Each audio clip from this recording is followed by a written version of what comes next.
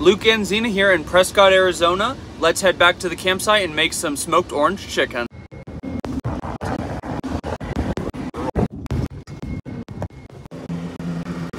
I've never smoked chicken with like a liquid marinade on top. We'll just smear it around. So I just put them on the smoker and it is set to 300 degrees.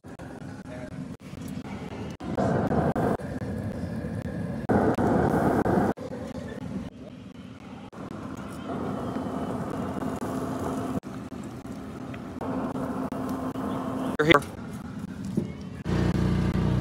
After an hour and 20 minutes, they have come up to temperature.